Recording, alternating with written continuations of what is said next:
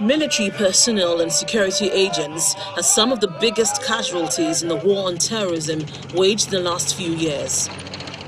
The fallen servicemen leave behind spouses and loved ones who have to get on with their lives, sometimes with little or no support. Security operatives who die in the line of duty in Nigeria a federal lawmaker, Senator Abba Moro, is sponsoring a bill which will create a support fund for families of security personnel killed in service.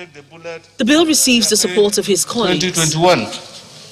The main intent of this bill, Mr. President, is to, among other things, establish a fund to be known as the Families of Fallen Servicemen Support Fund, into which shall be paid all monies prescribed under the bill and monies received as donations, bequests, trusts, and contributions for the welfare of families of members of the armed forces and operatives of other security agencies who die in the line of duty, including the combat and non-combat duties.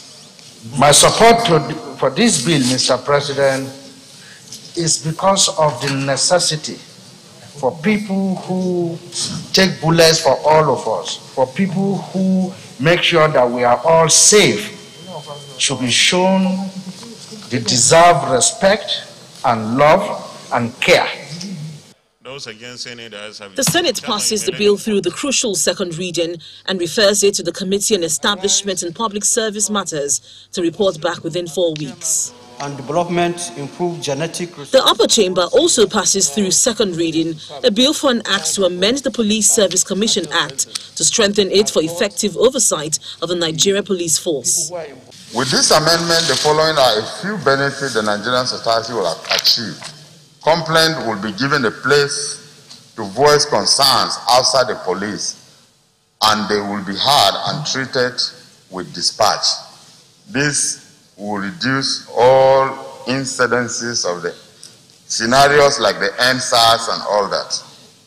Police officers will truly be held accountable for their actions, and the Reformed Police Service Commission will improve the quality of the internal investigations in the police. The bill is read the second time and referred to the Committee on Police Affairs to report back within four weeks. Linda Akhigbe, Channels Television News.